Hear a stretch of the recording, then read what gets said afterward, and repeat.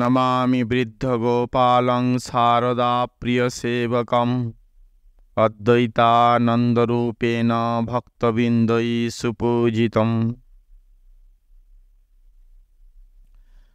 আজকে ঠাকুরের ষোলো জন যে সন্ন্যাসী পার্শ্বদ সন্তান আছেন, তাদের মধ্যে স্বামী অদ্বৈতানন্দজি মহারাজের শুভ জন্মতিথি। পূর্বাশ্রমে তার নাম গোপালচন্দ্র ঘোষ। ঠাকুরের যে বয়সে বড় বলে ঠাকুর তাকে মুরব্বী বলতেন বা গোপাল দা হিসেবে রামকৃষ্ণ সঙ্গে তিনি পরিচিত। বৃহত্তার জীবন কিন্তু প্রমাণ পাওয়া গেছে, প্রমাণ মানে তথ্য পাওয়া গেছে খুবই অল্প। তো সেই অল্প যেটুকু আছে সেইটুকু কম নয়। আজকে যে প্রেক্ষাপট নিয়ে আমরা প্রসঙ্গ নিয়ে আলোচনা করব মহারাজের জীবন কথা। তাতে আমাদের মূল যে জিনিসটি থাকবে বিষয় আলোচনার, সেটি হচ্ছে মহারাজের জীবন থেকে আমরা কি শিক্ষা পাই? জীবনের যে বিভিন্ন ঘটনাবলীগুলো আছে, তার উপদেশ আছে সেইগুলো আমাদের জীবনে কি কাজে লাগবে বা লাগতে পারে? সেই প্রেক্ষাপট নিয়ে, সেই প্রসঙ্গ নিয়ে ঘটনাগুলো এবং তার তাৎপর্য বিশ্লেষণ করব বা আলোচনা করব। তাহলে সহজভাবে বলতে গেলে কি বলা হয়? যে স্বামী অদ্বৈতানন্দজির জীবন, অদ্বৈতানন্দ মহারাজের জীবন আমাদের কি শিক্ষা দেয়? অথবা তার জীবন থেকে আমরা কি শিক্ষা পেতে পারি? অথবা তার জীবন আমাদের কাছে কেন শিক্ষণীয়? এটি কিন্তু আজকের আলোচনার বিষয়। এদের এর মধ্যে বেশিরভাগ থাকবে তার জীবনের ঘটনাবলীগুলো বিশেষ করে ঠাকুরের সঙ্গে তার যে কথোপকথন, ঠাকুরের সংস্পর্শে আসা, তার কিছু বাণী, কিছু ঘটনা, তার জীবনটি কেমন কেটেছে, সেই অনুসারে আমরা আলোচনা করব এবং সেই সঙ্গে এটাও ব্যাখ্যা করব যে কেন মহারাজের পবিত্র জীবন শিক্ষণীয় আমাদের কাছে। গোপাল দাদা বলা হয় কেন সেটা ঠাকুরের চেয়ে বয়সে বড়? আবার ঠাকুর মজা করে মুরব্বীও বলতেন, এই জন্য রামকৃষ্ণ সঙ্গে যখন তিনি বেঁচে ছিলেন, তখন থেকেই তার এই নামটি বেশি সুপরিচিত ছিল, গোপাল দা হিসেবে বা গোপাল দাদা। তাহলে এই যে স্বামী অদ্বৈতানন্দ এই নামটা এটি তার সন্ন্যাস নাম, সন্ন্যাস জীবনের নাম। কিন্তু এটি সেভাবে পরিচিত ছিল না, ডাক নামটাই বেশি পরিচিত ছিল। আমরা দুটো কথা, দুটো নাম দিয়েই মহারাজের জীবন আলোচনা করব দ্বৈতানন্দজি এবং গোপালদা বা ঠাকুরের মুরব্বী। তো তার জীবনের যে মহান দিকটি, প্রথমে যেটি আলোচনা করতে চাই সেটি হচ্ছে শোকবঙ্গ থেকে শ্রী রামকৃষ্ণের প্রতি আকর্ষণ। আমরা যারা কথামৃত পড়েছি, প্রথমের দিকটা দিকটাতে মাস্টারমশাই তো তিনি ডায়েরি লিখতেন কথামৃত, তার নিজের জন্য পরবর্তীকালে সেইটি সবার জন্য হয়েছে। তো সেখানেও আমরা দেখ, দেখছিলাম কথামৃত হয়তো আমরা পেতাম না, কেননা মাস্টারমশাই জীবনের তার যে অশান্তি ছিল, কোথায় কাটবে, তিনি নিজেকে আত্মহত্যাও করতে চেয়েছিলেন জীবনের দুঃখ, কষ্ট থেকে নিবৃত্তির জন্য। কিন্তু দৈবক্রমে তার এক আত্মীয়র সুবাদে তিনি দক্ষিণেশ্বরে পরমহংস রামকৃষ্ণদেবের সাক্ষাৎ পান। তার জীবন, অশান্তময় জীবন থেকে দিব্য জীবনে পরিণত হয়ে যায়। তিনি জগৎকে দিয়েছেন এক মূল্যবান গ্রন্থ, অমর গ্রন্থ কথামৃত। প্রসঙ্গটা বললাম কেন? না, এই যে অশান্তি, জীবনের দুঃখ, কষ্ট, তার থেকে ভগবানের সংস্পর্শে যখন এসেছে জীবনটা, দিব্য জীবনে পরিণত হয়ে গেছে। আবার আমরা গীতাতে দেখি যে গীতার সুবৃহৎ সৌন্দর্য উপদেশ, অর্জুন যদি প্রথমে রাজি হয়ে যেত যুদ্ধ করতে, কোনো দ্বিধা না করে যে আত্মীয় স্বজন হলেই বা যুদ্ধ করি তাহলে কিন্তু গীতার মতো মূল্যবান উপদেশ আমরা পেতাম না।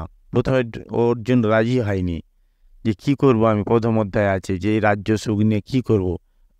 আমি আর আমার আত্মীয়দেরকে মারতে চাই না, আমি রাজ্য সুখ চাই না। তখন ভগবান বলছে যে, তুমি ক্ষত্রিয়, এটা তোমার ধর্ম, যুদ্ধ করো। যতই বলছে শুনছে না, তখন তার গীতাতে প্রেক্ষাপট অর্জুন বিষাদ যোগ। প্রথম অধ্যায়ের নামে অর্জুন বিষাদ যোগ, তার বিষাদ এসেছিল। তিনি যুদ্ধ করতে চাইছিলেন না। তখন ভগবান তাকে যখন উপদেশ দিলেন, তিনি চাঙ্গা হলেন। তখন যুদ্ধে প্রবৃত্ত হলেন। এই যে বিষাদ থেকে আমরা গীতাটা পেলাম। কথামৃতের যে মাস্টারমশের যে অশান্ত জীবন ছিল, কথামৃত রচনার আগে বা ঠাকুরের সংস্পর্শে আসার আগে, ঠাকুরের সংস্পর্শে আসার পর তার জীবন দিব্য জীবনে পরিণত হয়ে গেল। আবার ওই যখন আমরা রামায়ণ কীভাবে রচনা হয়েছে, সেখানেও দেখি যে একটা শোক বাল্মীকি তখন হননি সেইভাবে। তো যখন এই দুটো পাখির যখন মিলন হচ্ছে, এক ব্যাদ মেরে দিল তার কষ্টে, মুখ থেকে ন্যাচারালি শোক থেকে শ্লোক উদ মানে বেরিয়ে এলো। তারপর থেকে তিনি রামায়ণ রচনা করলেন সেই শ্লোক। এই কষ্ট, দুঃখ, কষ্ট থেকে একটা মহান কিছু পাওয়ার যেন উপায় ভগবানের সঙ্গে যোগ, এটি যেন একটি নিয়মের মতো হয়ে গেছে। মানে দুঃখ, কষ্ট যখনই আসবে, তারপরে যেন যেমন এই রাত্রির পরে আবার দিন আসে, তেমনি দুঃখ, কষ্টর পরে একটা ভালো জিনিস আসে, এইটি যেন আমরা জানতে পারছি। তাহলে অদ্বৈতানন্দজি মহারাজের জীবনে হলোটা কি? তিনি বিবাহিত ছিলেন ঠাকুরের সংস্পর্শে আসার আগে।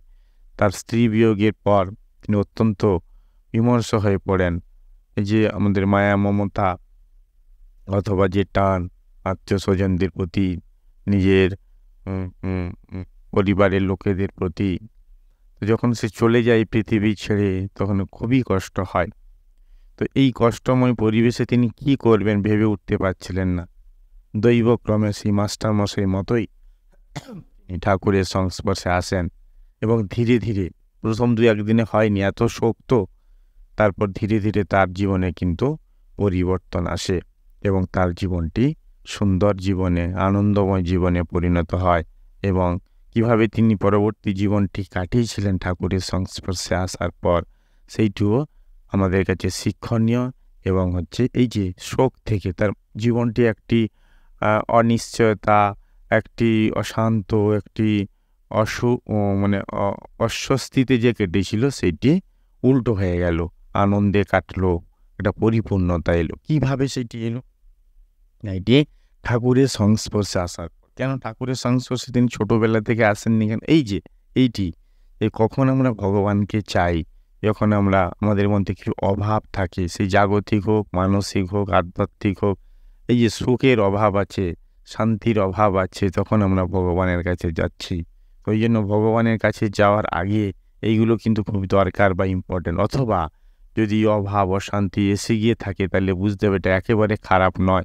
বরং এটি আমাকে ভালো পথে নিয়ে যাওয়ার জন্য একটি ভূমিকা বা পটভূমিকা মাত্র।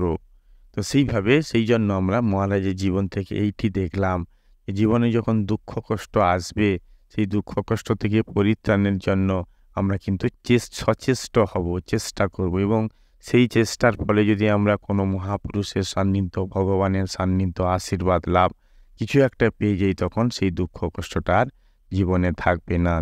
সেটি চলে গিয়ে জীবনটি আনন্দে পরিপূর্ণ হবে। তাহলে দুঃখ, কষ্ট, আশা খারাপ নয়, বরং এইটি এলে মহারাজের জীবন থেকে এইটি জানলাম যে যদি এরপর থেকে দুঃখ, কষ্টের পর আমার যদি তা ভগবানের মতি হয়, ভালো জীবনযাপনের ইচ্ছে জাগে, অথবা কি করব না কি করব, এরকম মন অস্বস্তি হয়ে থাকে, দৈব কৃপায় কিছু না কিছু ভাবে একটি পথ চলে আসে সামনে।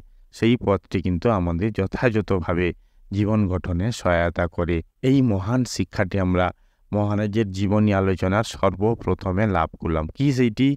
যে শোকমগ্নতা থেকে ভগবানের দিকে যাওয়ার ইচ্ছে এবং তাকে পেলে শোকমগ্নতা চলে গিয়ে জীবন আনন্দে পরিপূর্ণ হওয়া।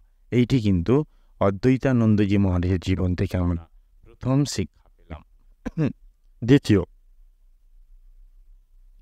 দ্বিতীয় শিক্ষাটা কি? এখানে ঠাকুর বলছেন, দ্বিতীয় শিক্ষাটাতে ওনার উপদেশে যে ভগবান মানুষের অন্তরে আছে। আমরা কোথায় কোথায় ঈশ্বর থাকে এরকম পড়েছি বা শুনেছি যে ঈশ্বর সর্বত্র থাকে। God is everywhere. বাতাস যেমন সর্বত্র থাকে বা বায়ুশূন্য থাকে বাতাস বায়ুশূন্য স্থানে বাতাস কী করে থাকবে? বায়ুশূন্য স্থানে বাতাস না থাকলেও সেখানে নাকি ঈশ্বরও আছে। তো ঈশ্বর সর্বত্র আছে। আর একটি বলা হয়, যেখানে অর্চ, অর্চনা করা হয়, পুজো করা হয় যে মন্দির। যেখানে অনেক তীর্থস্থান, অনেক মানুষ যাচ্ছে, অনেক দিন ধরে জব ধ্যান, ভালো কাজ, পূজা, অর্চনা, আরতি। এই সমস্ত হচ্ছে সেখানেও ঈশ্বরের আবির্ভাব বা অধিষ্ঠান। আর একটি মানুষের হৃদয়। শ্রীরামকৃষ্ণদেব বলছেন, ভক্তদের হৃদয় হচ্ছে ভগবানের বৈঠকখানা। বৈঠকখানা মানে একটা আনন্দের জায়গা, সেখানে আসতে ভালো লাগে। আমাদের ঘরে যেমন একটা বৈঠকখানা থাকে, সেখানে আমরা বৈঠক করি, খোঁজ মেজাজে গল্প করি। তা মেজাজ ভালো থাকে তেমনি। বৈঠকখানা মানে ভগবান, ভক্তের হৃদয়ে, মানুষের হৃদয়ে তিনি থাকেন। এইটি শ্রীরামকৃষ্ণদেব বারবার বোঝাতে চাইতেন। মহারাজের জীবনে এরকম কীরকম ঘটনা আছে? তার থেকে আমরা শিক্ষণীয় ঘটনাটা হচ্ছে এই, যখন তার স্ত্রী বিয়োগ হয় অথবা বিভিন্ন তার সমস্যা আছে জীবনে মানে তীর্থ দর্শনের ইচ্ছে জাগে এবং তপস্যা উনি অনেক করেছেন। তো তীর্থ দর্শনে যখন যাবেন ঠাকুরের কাছে, তখন ঠাকুর এই উপদেশটি তাকে দিলেন। কি বলছে তার? যা চায় তার কাছেই, অথচ লোকে নানা স্থানে ঘোরে। আর কি বললেন? যতক্ষণ বোধ যে ঈশ্বর সেথা সেথা মানে সেখানে সেখানে, ততক্ষণ অজ্ঞান। আর যখন হেতা হেতা মানে এখানে এখানে ঈশ্বর, তখন তখনই হচ্ছে জ্ঞান। ঠাকুর কথামৃত এরকম অনেক উদাহরণ দিয়েছেন। যেমন, কস্তুরী মৃগ নাভি। কস্তুরী মৃগ নাভি মানে এক ধরনের হরিণ আছে, তার নাভি থেকে সুন্দর সুগন্ধ বের হয়, কস্তুরি বলা হয় তাকে। তো যখন এই গন্ধটি বের হয় হরিণের পরিপক্ক হলে একটা বয়সের নিরিখে, তখন হরিণটি উন্মাদ হয়ে যায়। এই কারণে যে কোথা থেকে এই সুগন্ধটি আসে সেটি খুঁজার জন্য সারা বন ছুটে বেড়ায়। সে জানে না যে তার মধ্যেই, তার শরীরের মধ্যেই সে সোর্সটি আছে, গন্ধের উৎসটি আছে, সুগন্ধের উৎসটি আছে, যেখান থেকে সে গন্ধটি পাচ্ছে। কিন্তু জানে না, সে ভাবছে যে বাইর থেকে গন্ধটি আসছে কোনো বনের প্রান্ত থেকে, নদীর ধার থেকে, কোনো গাছের ফুল থেকে হয়তো। ওই জন্য সারা বন সে ছুটে বেড়ায়। কিন্তু তার সেই কস্তুরী নাভিটি তার দেহেই আছে। সেইভাবে তিনি বলতেন যে, ভগবান অন্তরেই আছে। অন্তরের মধ্যে খোঁজো। আরেকটি গল্প ঠাকুর বলেছিলেন অদ্বৈতানন্দজিকে। গল্পটা হচ্ছে এই, একবার এক নিশুতি রাতে একজন বাড়িতে কড়া নাড়ার শব্দ মানে দরজাতে ঠকঠক করছে। তো বাড়ির কর্তা বেরিয়ে এসে দেখে একটি বয়স্ক লোক হাতে একটি লণ্ঠন আছে। সে কাতরভাবে বলছে, বুঝি খুব অসহায় হয়ে তো তোমার কাছে এলাম। আমার খুব একটি প্রয়োজন জিনিস। কি সেই জিনিসটি? আমি প্রতিদিন তামাক খাই। আজকে আগুনের অভাবে তামাকটা খেতে পারিনি, টিকে ধরাতে পারিনি। তামাক যারা খায় জানে টিকে ধরার ব্যাপারটা কি? তো সেই টিকে ধরাতে পারিনি, আগুনের অভাবে তা আমার ঘুম আসছে না। তো এই জন্য তোমার কাছে এলাম। তুমি কি একটু দেবে আমাকে আগুন। তাহলে সেই আগুনটি হলে আমি টিকেটই ধরাবো, তামাকটা খেললে আমার ঘুমটা আসবে। লোকটা তো আশ্চর্য হয়ে গেল, যেমন যাদের বাড়িতে কড়া নাড়ার শব্দ হচ্ছিল। বলছি, তুমি কি লোক হে? এত গভীর রাত্রে এসে আমার ঘুম ভাগাচ্ছ আগুনের অভাবে। আরে, তোমার হাতেই তো লণ্ঠন আছে। সেখানেও তো আগুন আছে। ওই আগুন থেকেই তো টিকে ধরানো যেত। তা তুমি কষ্ট করে এত রাত্রে আমার বাড়িতে আসা কেন? মানে তার বাড়িতে আসতে নিষেধ করেনি? মানে অবাক হয়ে গেছি কাণ্ড কারখানা দেখে যে তোমার হাতেই যেখানে আগুন আছে আর মানে লণ্ঠনের মধ্যে আগুন, সে আগুন থেকে তো তুমি কাজে লাগাতে পারতে টিকে ধরানোর ইত্যাদি কাজগুলো। আর তুমি সেই গভীর রাতে এসেছ, আমার কাছে আগুন চাইতে। তো ঠাকুর এইভাবে বলছেন যে ওই লোকটির হাতে যেমন লণ্ঠন ছিল সে বাইরে আগুন খুঁজতে যাচ্ছে অথচ তার কাছে আগুন আছে ঠিক তেমনিভাবে আমরা ভগবানকে খুঁজতে বাইরে যাই কিন্তু বলছে অন্তরে তিনি আছেন বিভিন্ন গান বলতেন যে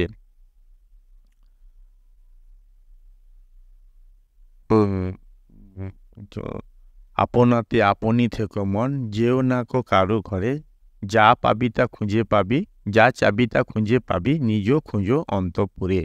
মানে তোমার অন্তরে খুঁজো, তুমি যাই চাইছো না কেন, সব কিছুই পাবে। এই তীর্থ দর্শন সম্পর্কে মায়ের একটি বাণী আছে, সেটি প্রাসঙ্গিক বলে বলি। মা বলছেন যে, ভ্রমিয়ে বারো, ঘরে বসে তেরো। ভ্রমিয়ে মানে এখানে ওখানে গিয়ে কোথায় তীর্থ দর্শন করা, পুণ্য অর্জনের লোভ ইত্যাদি থাকা, বলছে তাতে বারো।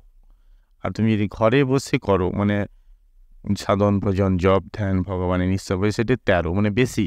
তো ওই জন্য ইম্পর্টেন্স তার মানে কি, বাইরে যাব না তা নয়, তীর্থেরও মাহাত্ম আছে যেতে কিন্তু ওইটি প্রধান নয় যে বাইরেই শুধু ভগবান আছে, গেলেই সেইখানে তীর্থ পাবো, আর কোথাও নেই বা আমার মধ্যে নেই। ওই ব্যাপারটি নয় যে তোমার মধ্যে আছে যেমন ঠাকুর গল্পের মধ্যে বলি যে, আগুনটা ওর হাতেই ছিল, কিন্তু সে আগুনটা খুঁজতে অপরের বাড়ি গিয়েছিল গভীর রাত্রে। তো সেই জন্য ভগবান আমাদের মধ্যেই আছেন। এরকম উপদেশ তিনি দিয়েছিলেন অদ্বৈতানন্দজিকে। আমরাও কেন এই উপদেশটা নেই না? নিজের মধ্যে খোঁজা, খোঁজো নিজ অন্তপুরে। এটি একটি অন্যান্য পেলাম অদ্বৈতানন্দজি মহারাজের জীবন থেকে। আর একটি কি জানলাম? তার আমরা তো হেডিংয়ে বললাম যে, মহারাজের জীবন কেন শিক্ষণীয়? কেন আমরা মহারাজের জীবন পাঠ করব বা কি কি শিখতে পারি? শিক্ষা লাভ করতে পারি? আমরা দুটোর আলোচনা করলাম। একটা শোকমগ্নতা থেকে কীভাবে ঈশ্বরের প্রতি টান আসে? দ্বিতীয়ত, ভগবানের অধিষ্ঠান অন্তরে সেদিক থেকে ধ্যান দেওয়া। তৃতীয়ত হচ্ছে কি? প্রকৃত সাধুর সন্ধান। এই তীর্থ দর্শনে যাওয়ার মানুষে অদ্বৈতানন্দজির ইচ্ছে হয়েছিল কোনো গেরুয়া কাপড় এবং রুদ্রাক্ষের মালা কোনো সাধুদের তিনি দান করবেন। তাতে অনেক পুণ্য আসে এই জন্য তিনি গঙ্গাসাগর বা অন্যান্য জায়গায় যেতে চেয়েছিলেন। তখন ঠাকুর তাকে নিষেধ করে বললেন যে, ওরে, তুই কোথায় যাচ্ছিস? এদের মতো কি আর সাধু তুই কোথায় পাবি? এদের মধ্যে শ্রীরামকৃষ্ণের যে যে ষোলো জন পার্শ্বদের কথা আমরা বলে থাকি, স্বামী বিবেকানন্দ আরও নানা রকম, অনেকজন মহারাজরা আছেন। তো বলছে, এদের মতো তুই আর ভালো সাধু কোথায় পাবি? তো ওই জন্য তোর যে গেরুয়া দান করার ইচ্ছে হচ্ছে, তুই এদেরকে দে।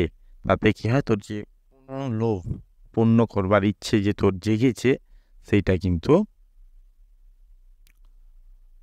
তোর হবে।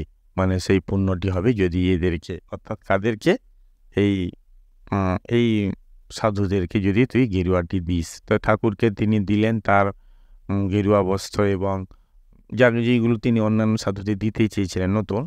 রং করা গেরুয়া বস্ত্র রুদ্রাক্ষের মালা, ঠাকুর সেইগুলোকে নিয়ে তার শিষ্যদের দিলেন। কে কে পেয়েছিলেন সেদিন গেরুয়া? সেখানে আছে নরেন্দ্র মানে স্বামী বিবেকানন্দ, রাখাল, স্বামী ব্রহ্মানন্দ, যোগীন্দ্র, স্বামী যোগানন্দ, বাবুরাম, স্বামী প্রেমানন্দ, নিরঞ্জন, স্বামী নিরঞ্জনানন্দ, তারক, স্বামী শিবানন্দ, শরৎ, স্বামী শারদানন্দ, শশী, স্বামী রামকৃষ্ণানন্দ, গোপাল।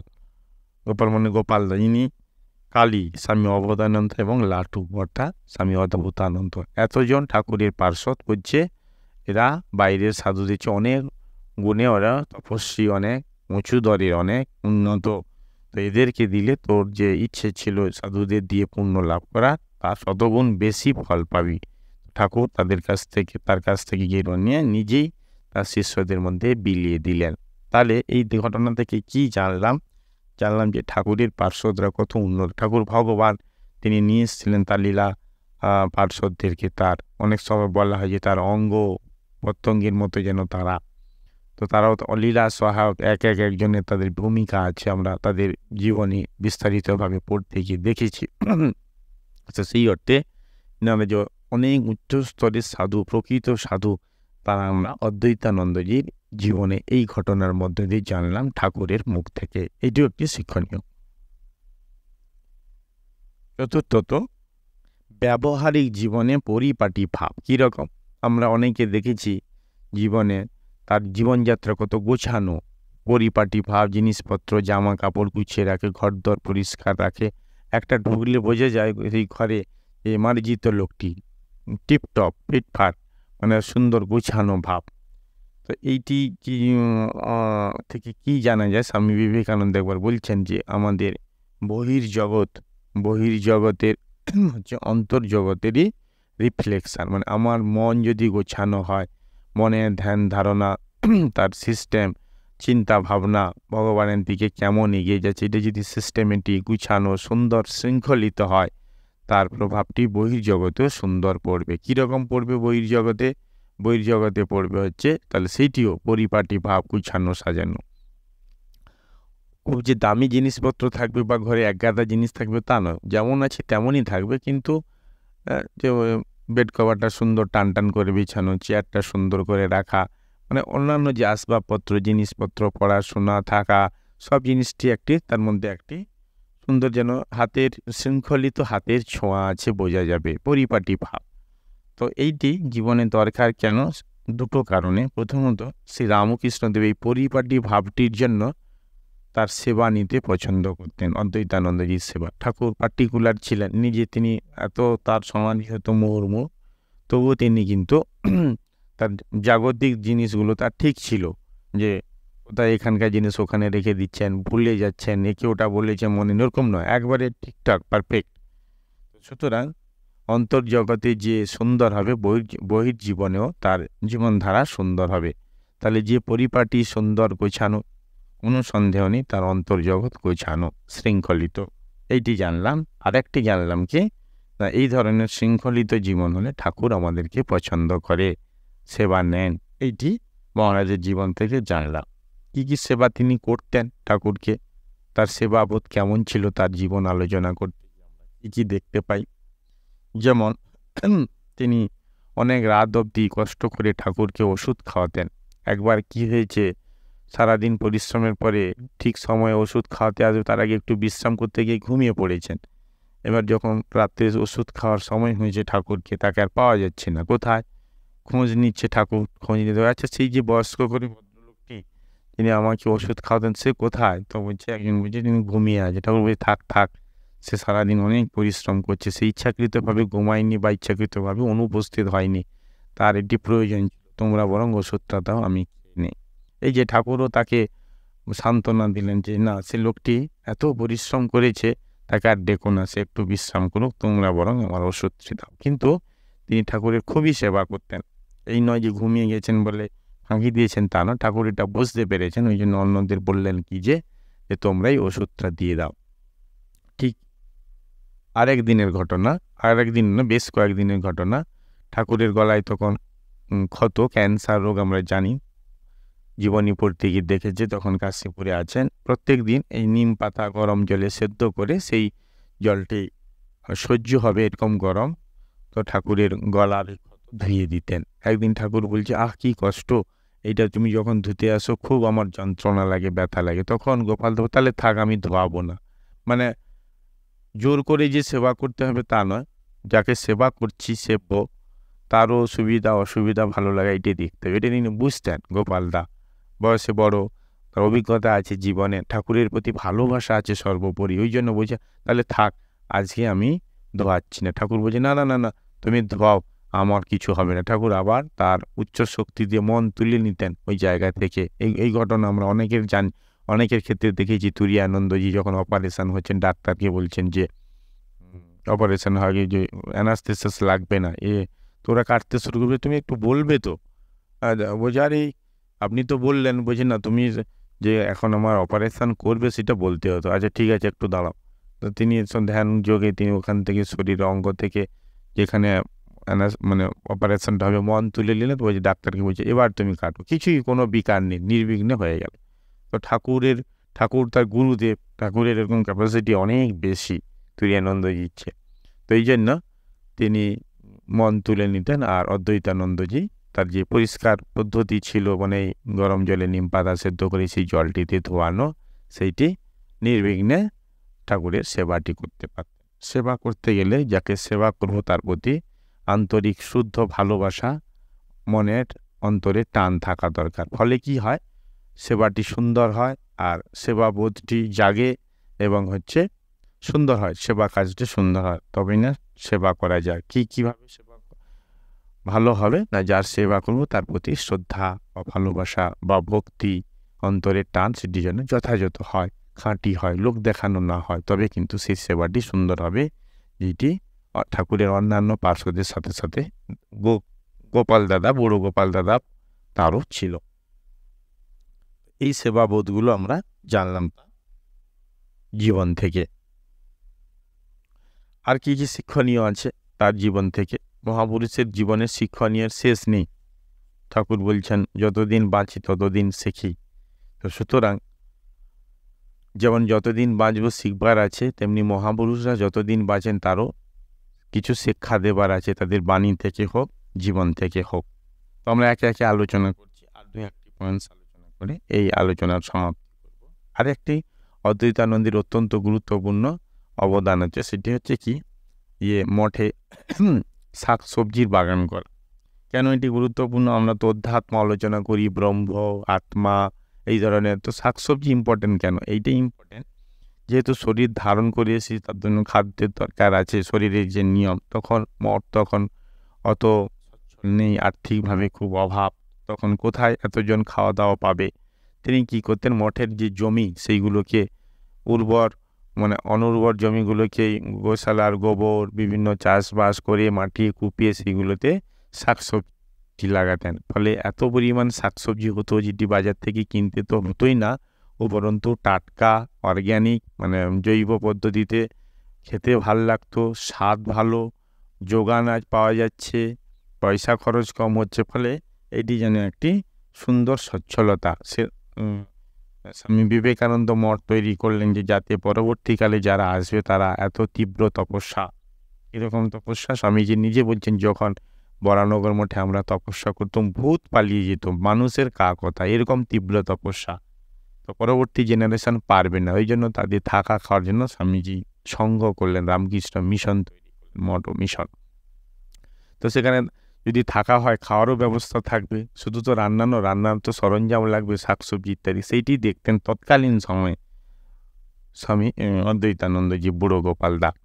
তো এই জন্য তার এই কাজে প্রশংসা করে লাটু মহারাজ একবার বলছেন, খুব ভালো কথা, সেই কথাটি এই মঠে শাকসবজি বাগান করাকে কেন্দ্র করে লাটু মহারাজ, স্বামী অদ্ভুত অদ্ভুত আনন্দজি তিনি বলছেন, আরে সাধু ব্রহ্মচারীকে লক্ষ্য করে বলছে আরে বুড়ো গোপালদা না থাকলে মঠের ব্রহ্মচারীদের ভাতের উপর তরকারি জুটত না। তখন অভাব অনটন তো। প্রথমের দিকটাতে মঠ সবে মাত্র হয়েছে এই সময়টাতে।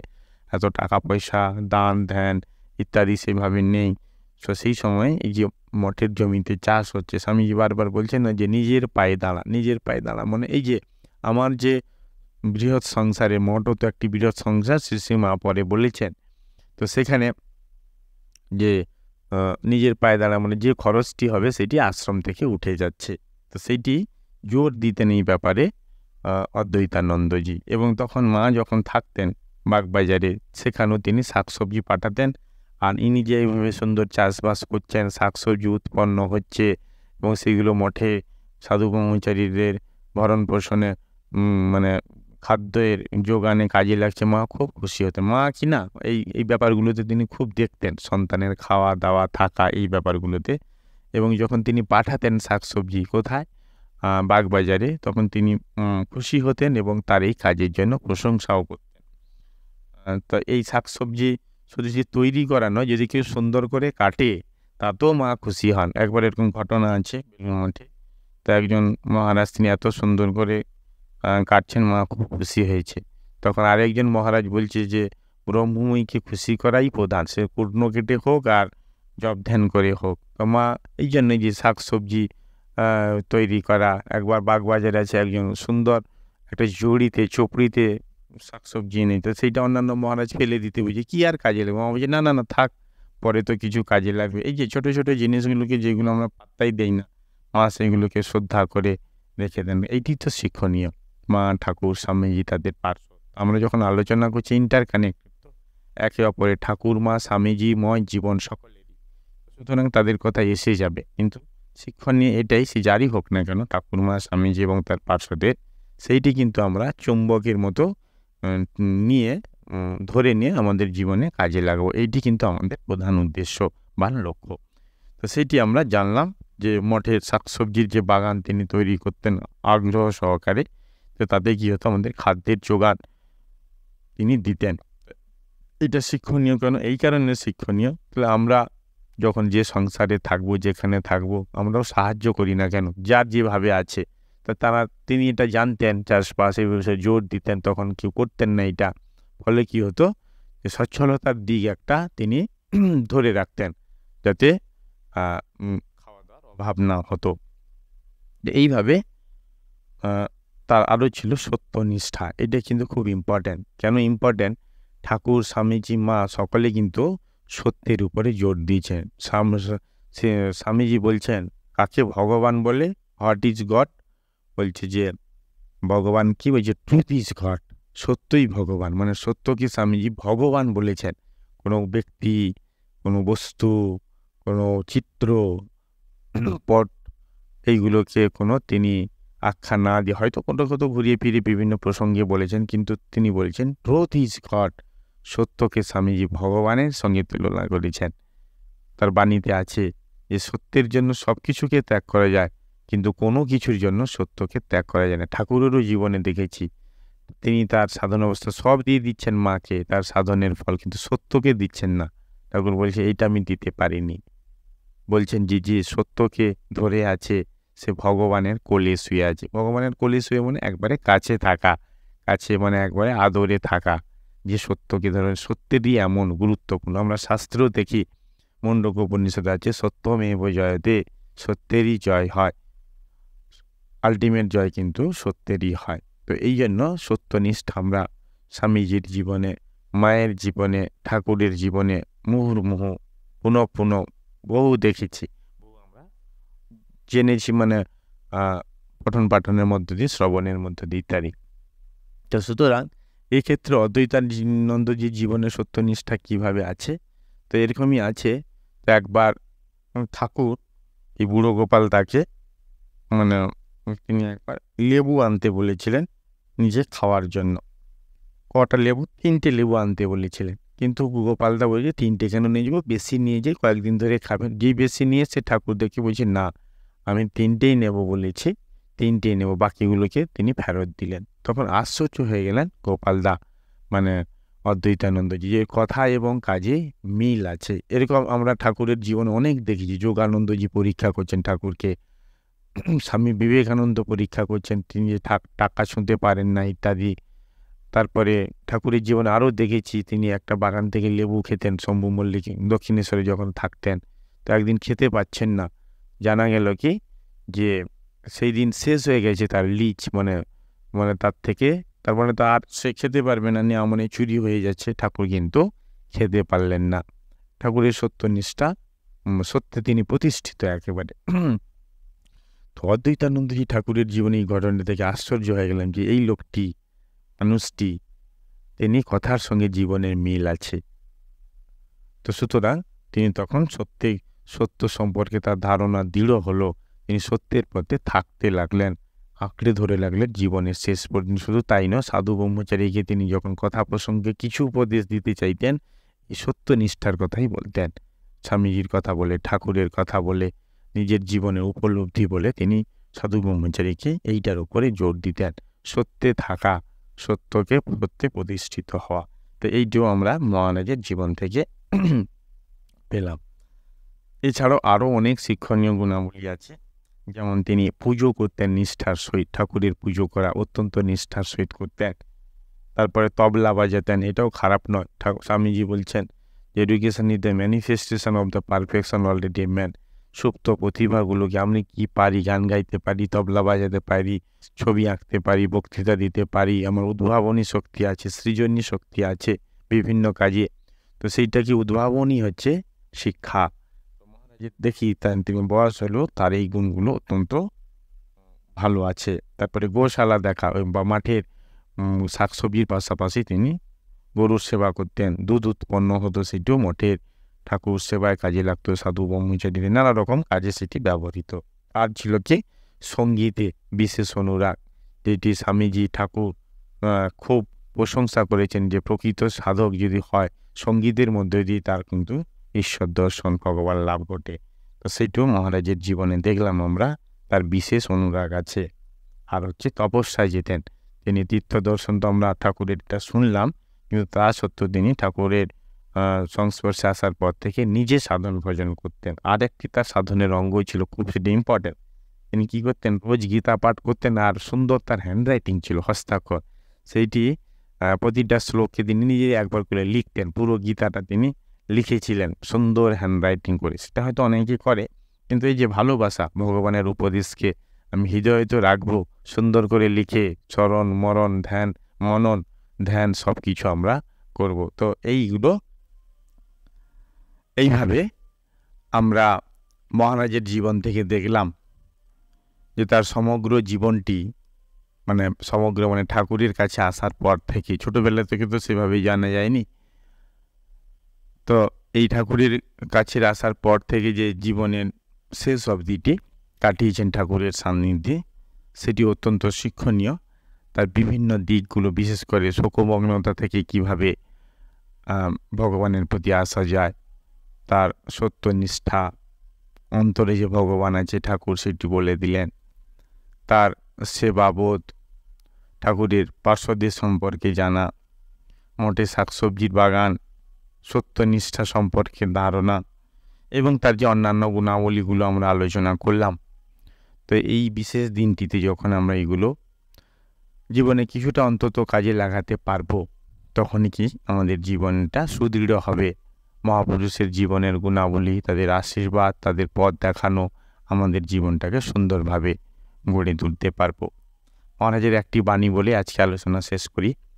মহারাজ বলছেন সর্বভূতে তিনি বিরাজমান। কাকে নিন্দা করি আর কারই বা সমালোচনা করি? সকলেই তো আমি, যার নিন্দা করব সে তো তার মধ্যেও ভগবান আছে। যার সমালোচনা করব তার মধ্যেও ভগবান আছে। যাকে শ্রদ্ধা, ভক্তি, ভালোবাসা, সেবা ইত্যাদি করব তার মধ্যেও ভগবান আছে। তো যার এই উচ্চ আধ্যাত্মিক অনুভূতি হবে তার কিন্তু আর নিন্দা, সমালোচনা থাকবে না। কেন? তিনি দেখছেন যে যার নিন্দা করব যার সমালোচনা করব তার মধ্যেও সেই একই ভগবান আছেন। তো সুতরাং নিন্দা সমালোচনার আগে এই বোধটি বা অনুভূতিটি থাকা দরকার যে প্রত্যেকের মধ্যে ঈশ্বর আছেন। তবে না, আমাদের, আমরা নিন্দা এবং সমালোচনা থেকে আমরা রেহাই পাবো মানে করব না এটা।